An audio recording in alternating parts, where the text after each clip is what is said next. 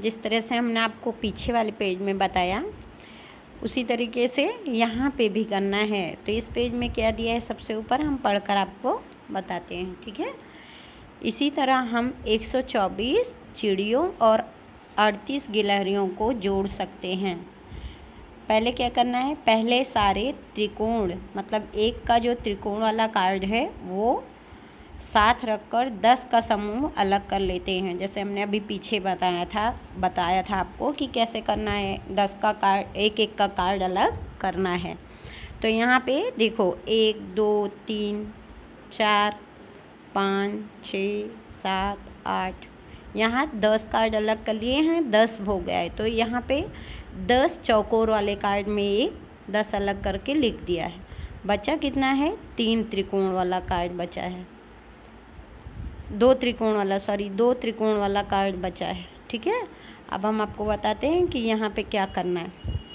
अब यहाँ लिखा है, चिड़ियों की संख्या 124 कितनी है? 124 और गिलहरियों की संख्या अड़तीस है। दोनों को प्लस करना है, ठीक है? अब देखेंगे दस दस के कितने कार्ड हैं। एक, दो, तीन, चार, पाँच, छ। छः कार्ड है दस दस के। कितने हैं? छः हैं। तो दस, बीस, तीस, चालीस, पचास, साठ। कितना हुआ? साठ हुआ, ठीक है? दस दस के साठ हुआ। तो यहाँ पे सौ है। तो एक सौ बासठ। यहाँ पे इसको जोड़ के लिखेंगे। एक सौ बासठ खाली इसे जोड़ना ही है और कुछ करना नहीं है, ठीक है? आगे पढ़कर देखते हैं कि क्या लिखा हुआ है। इसलिए गिलहरियों और चिड़ियों की कुल संख्या कितनी है? एक सौ बासठ। दोनों को जोड़ के बताया गया यहाँ पे। हिरण और खरगोश की संख्या कितनी है? पचहत्तर है। पीछे हमने आपको पीछे वाले पेज में बताया था। बूढ़े हिरण ने कहा, हमारी कुल संख्या 240 थी। देखो, अब हम कुल मिलाकर कितने हैं? कितनी थी हिरण की संख्या? 240 थी। ठीक है, लेकिन अब वो कितने बचे हैं? वो पीछे अब देखिए कि हिरण की संख्या कितनी है, अड़तालीस। ठीक है? तुम अंदाज़ा लगाओ, शेर का बच्चा घर गया या नहीं? पीछे आपको ये सब दिया गया है, बता चुके हैं हम। इसका पता लगाने के लिए नीचे दिए गए खानों में जोड़ो। पहले यहाँ पे चिड़िया और गिलहरी की संख्या लिखनी है। चिड़िया और गिलहरी की संख्या कितनी है? 124 फिर नीचे हिरण और खरगोश की संख्या लिखनी है। दोनों को यहाँ पे जोड़कर लिख देना है। ठीक है? अब आगे देखते हैं क्या है। कितने बल्ब? इस पेज में बताया गया है कितने बल्ब बल्ब के बारे में बताया गया है। देखते हैं क्या लिखा हुआ है बल्ब के बारे में। एक खार, कारखाने में पहले दिन 270 बल्ब बने पहले दिन कितने बने 270 दूसरे दिन कितने बने? एक सौ तेईस बल्ब बने। पहले दिन दो सौ सत्तर बने, दूसरे दिन एक सौ तेईस। कारखाने में कुल मिलाकर कितने बल्ब बने? इसका मतलब ये है कि दो सौ सत्तर और एक सौ तेईस को हम लोग को जोड़ना है, जोड़कर बताना है कि कितने बल्ब बने। नीचे भी वही बताया गया है कि पहले दिन दो सौ सत्तर, दूसरे दिन एक सौ तेईस बने। फिर पूछा गया है, कुल कितने बने? तो नीचे यहाँ पे दिया गया है कि इसको जोड़ना है। पहले दिन कितने बने थे? 270 तो 270 लिखेंगे। दूसरे दिन कितने बने थे? 123 फिर दोनों को जोड़ना है। तो जब ज़ीरो में तीन जोड़ा तो तीन आया, और सात में दो जोड़ा तो नौ। और दो में एक जोड़ा तो तीन। दो सौ तिरानबे बल्ब बने। कुल कितने बल्ब बने? दो सौ तिरानबे। अब आगे देखते हैं क्या है भाई। फिर ये देखो, दिखाया गया है यहाँ एक दुकान दिखाई गई है, उसके बारे में कुछ बताया है देखते क्या है। पहले दुकानदार रफ़ी के पास एक सौ तिरपन मोमबत्तियाँ थी। ये रफ़ी की दुकान है, इसके पास कितनी मोमबत्ती थी? एक सौ तिरपन। ठीक है? पारस ने उसे दो सौ सैंतीस मोमबत्तियाँ और दे दी। दुकानदार को दो सौ सैंतीस मोमबत्ती और मिली। अब रफ़ी के पास कुल मिलाकर कितनी मोमबत्तियाँ हो गई?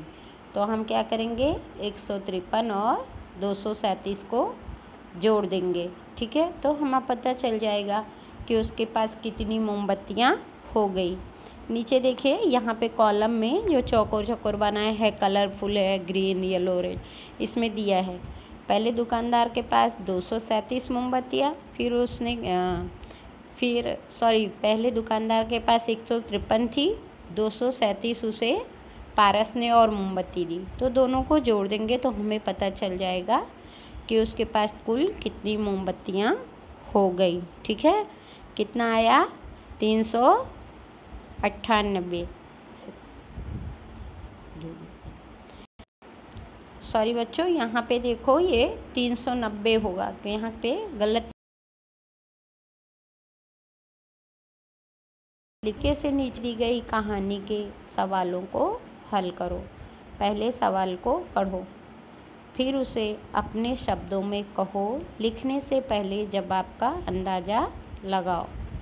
एक ट्रेन में एक ट्रेन के डिब्बे में 132 लोग हैं। कितने लोग हैं? एक ट्रेन के डिब्बे में 132 हैं और दूसरे में कितने हैं? एक लोग हैं।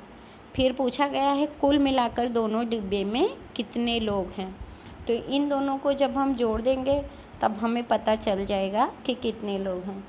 वैसे अपने हिसाब से तुम उसको अपने अंदाजे से पहले जोड़ो, उसके बाद फिर अपनी कॉपी में इसको 132 और एक सौ उनतीस को प्लस करना है, जोड़ना है। कॉपी में लिखोगे और सारे बच्चे कॉपी में ये करोगे, जोड़ोगे। तब तुम्हें पता चल जाएगा कि कुल कितने लोग ट्रेन के डिब्बे में हैं। अब इसके बाद ख नंबर में फिर दिया है, सोनू को 138 पत्थर मिले। सोनू को 138 मिले हैं, करीम को चवालीस पत्थर मिले। करीम है उसको चवालीस। उन्हें कुल मिलाकर कितने पत्थर मिले? इसको भी जोड़ना है। 138 प्लस चौवालीस। ठीक है? जोड़ेंगे तो कितना आएगा?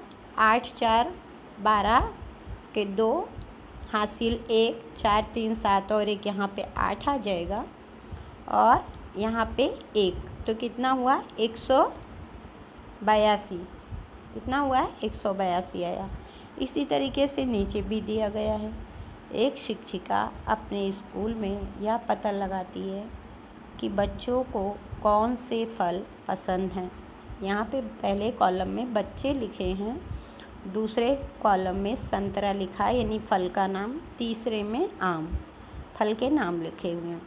तो ये जो पहला कॉलम आएगा, इसमें लड़कियाँ, उसके नीचे लड़के फिर कुल संख्या बतानी है, ठीक है? तो पहले लड़कियाँ देखते हैं, और संतरा। लड़कियाँ, फिर एक सौ छत्तीस संतरा है। कितना है? एक सौ छत्तीस संतरा है। लड़कियों को 136 संतरा पसंद है, संतरे ज़्यादा पसंद है 136 और लड़ 240 आम, ठीक है? 240 आम। अब इसमें देखो बताया गया है, बताया ना मैंने आपको कि लड़ एक सौ छत्तीस लड़कियों को क्या पसंद है? संतरा और 240 लड़कियों को आम पसंद है। उसी तरह नीचे वाले कॉलम में दिया गया है कि 128 लड़कों को एक सौ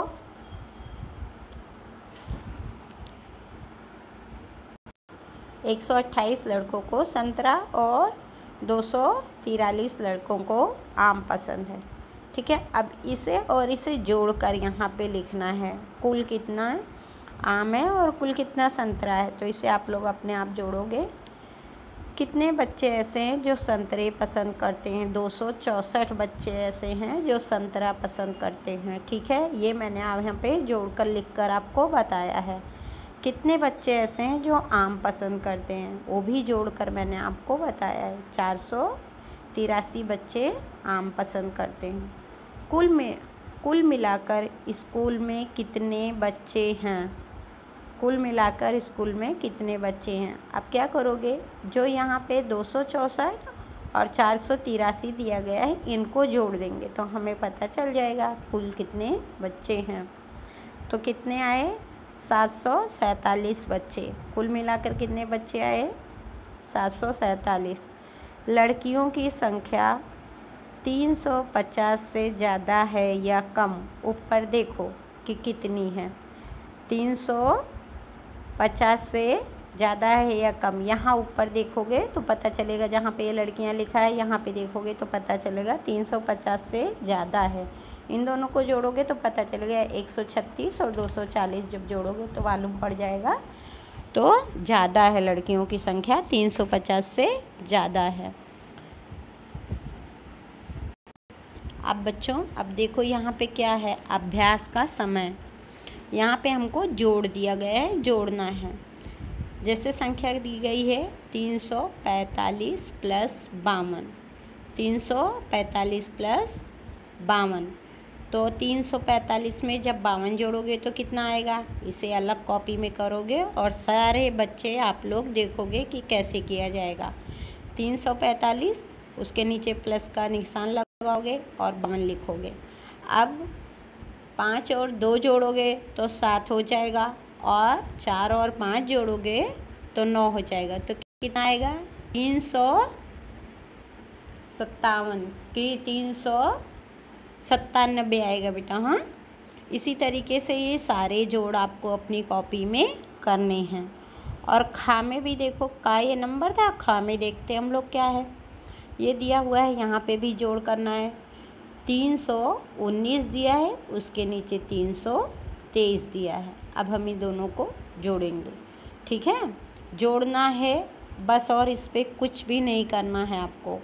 तीन सौ उन्नीस में जब तीन सौ तेईस जोड़ेंगे तो कितना आएगा?